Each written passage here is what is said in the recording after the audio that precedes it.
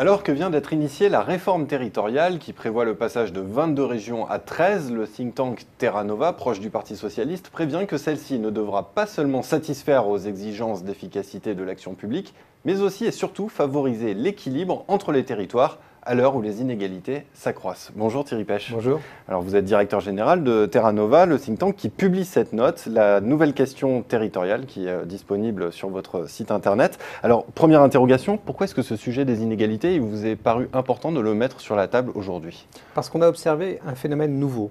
Depuis 30 ans, on voyait les inégalités de création de richesses, de PIB entre les territoires augmenter, entre les grands territoires, les régions, euh, les départements.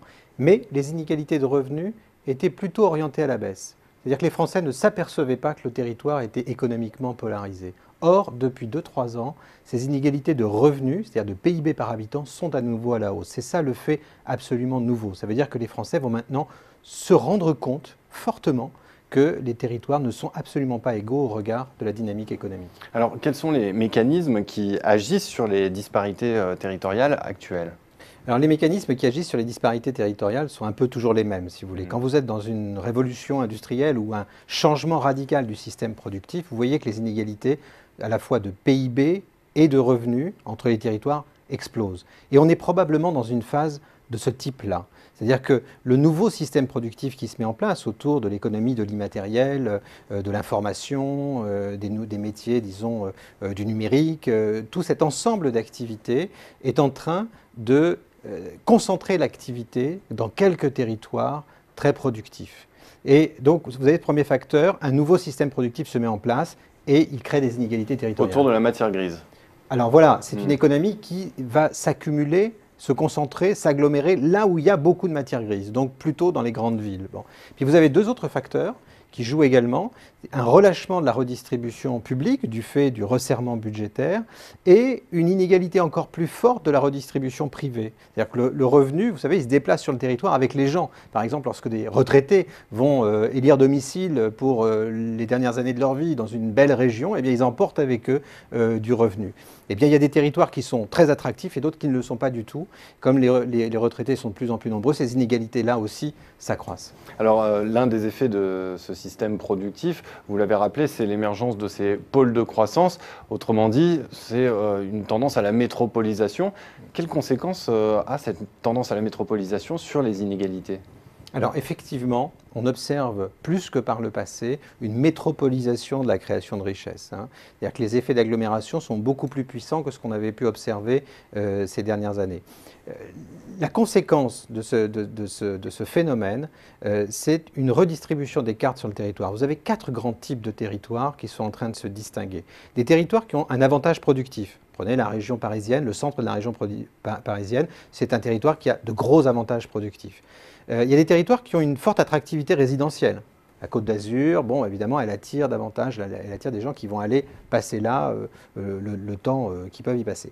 Vous avez une troisième catégorie de territoires qu'on pourrait appeler les territoires productivo-résidentiel. Une ville comme Nantes, mm. une ville comme Toulouse sont des, ensembles urbains, des, agglomérations qui conjuguent les avantages résidentiels et des avantages productifs très forts. Et puis vous avez enfin une quatrième catégorie de territoire qui n'a ni les avantages productifs ni les avantages résidentiels. On trouve des territoires comme ça, par exemple dans le nord-est de la France. Là, ce sont des territoires qui sont beaucoup plus déshérités et qui vont vivre plus durement probablement ce mécanisme dont on observe la phase initiale finalement aujourd'hui alors, comment expliquer l'absence d'effet d'entraînement productif euh, des territoires euh, de croissance envers les plus, les plus, les plus faibles en termes de croissance? Alors, ça, c'est une question vraiment importante et très intéressante. Au fond, si on regarde la révolution industrielle euh, d'avant, hein, disons la, société industrielle de l'automobile, hein, prenons, cet âge-là, bon, qu'est-ce qu'on observait?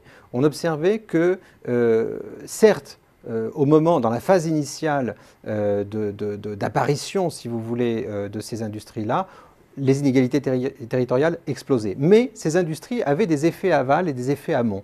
C'est-à-dire qu'elles achetaient des composants. Pour construire une voiture, il fallait des milliers de composants, il fallait transformer des dizaines de matériaux.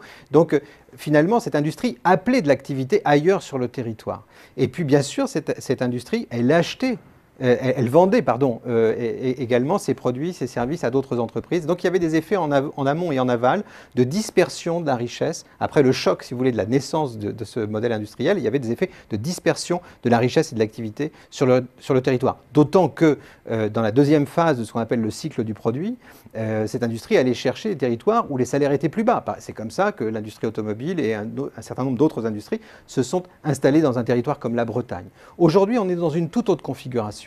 Parce que les chaînes de, valeur se mondialisent Alors, il y a ce facteur. C'est vrai que les effets amont sont en partie captés par des territoires qui sont beaucoup plus distants, plus lointains, du fait de la mondialisation. C'est-à-dire que le mécanisme qui resserrait les inégalités territoriale à l'intérieur de l'État-nation, aujourd'hui resserre les inégalités internationales du fait des canaux de la mondialisation. Les effets aval sont beaucoup plus indécidables, hein. ils peuvent être selon les secteurs puissants ou faibles, et le cycle du produit est beaucoup plus court. Songez qu'une deux chevaux, on l'a vendue pendant 30 ans, on l'a construit pendant 30-35 ans. Euh, les euh, produits ou les services de la nouvelle économie n'ont pas cette durée de vie.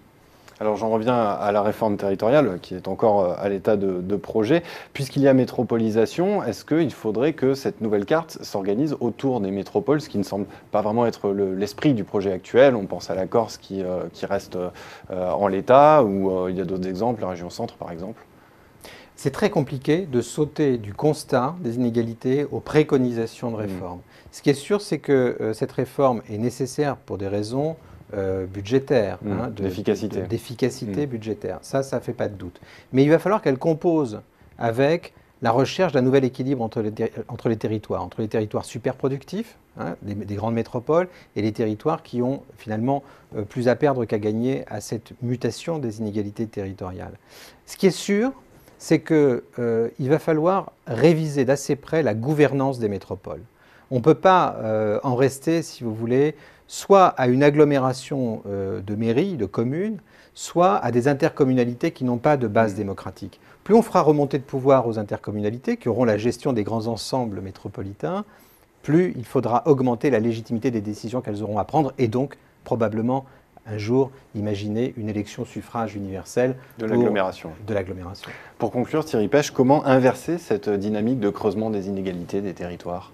Bon, d'abord, il ne faut pas se précipiter pour mmh. l'inverser, elle a des effets positifs. C'est bien d'avoir des grandes métropoles dynamiques, il ne faut pas euh, euh, geindre. Euh, on pourrait, dans une situation bien pire, on n'aurait pas de grandes métropoles. On a une très grande métropole parisienne, on a une grande métropole nantaise naissante, on a une très grande métropole lyonnaise. Bon, tout ça, ce sont plutôt des bonnes nouvelles pour Mais le pays. Mais on n'a pas les effets d'entraînement. Ah, effectivement, on n'a pas les effets d'entraînement. Alors, il ne faut pas se précipiter pour inverser les choses. D'autre part, il est possible que le mécanisme s'inverse en partie un peu de lui-même, si vous voulez. Hmm. Si on prend les technologies numériques, elles devraient permettre à des gens de travailler les uns avec les autres de façon distante. Mais pour ça, il faudra attendre, euh, je dirais, la fin du moment d'innovation. Dans le moment d'innovation, on a besoin d'être très près les uns des autres, d'interagir les uns avec les autres. La créativité suppose beaucoup d'échanges, de frottements, de contacts, d'interactions, d'échecs, de tentatives, de, de réussites. Quand on est sorti du moment de l'innovation, les systèmes se stabilisent et peut-être à ce moment-là, probablement à ce moment-là, ils peuvent se disperser davantage géographiquement. Donc une partie de l'inversion sera probablement naturelle, mais elle va se faire attendre parce que ce qu'on observe est plutôt le début d'un processus que euh, la fin du processus. Eh bien Thierry Pêche, je vous remercie euh, pour cet éclairage sur les inégalités entre les territoires, en plein débat sur la réforme territoriale. Merci d'être venu sur Xerfi Merci à vous.